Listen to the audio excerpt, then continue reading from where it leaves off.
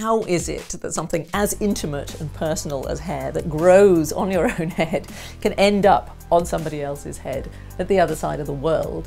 One of the exciting things about this research was that I was moving from place to place and in a sense following the journeys of hair.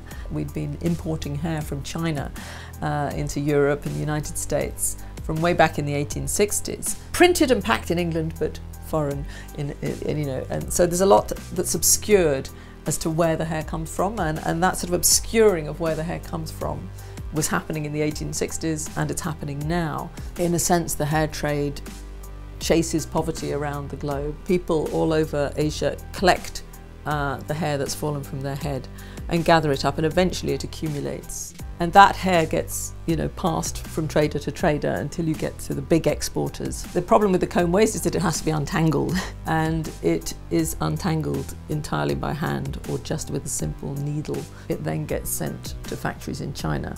And from China, it gets dispersed to every country in the world. So there's a big distinction made in the trade between what they call remi hair, which is kept all pointing in the same direction, versus the comb waste or the tangled up hair.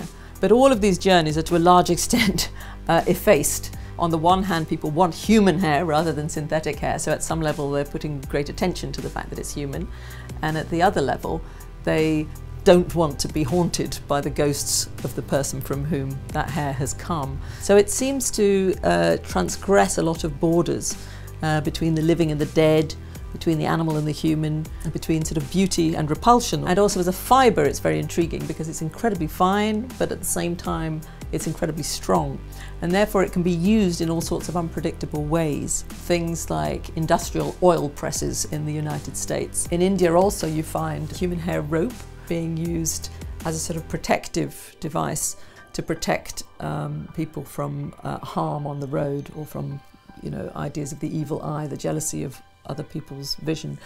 I was constantly surprised, and I still am. I'm intrigued by how hair gets into so many different things.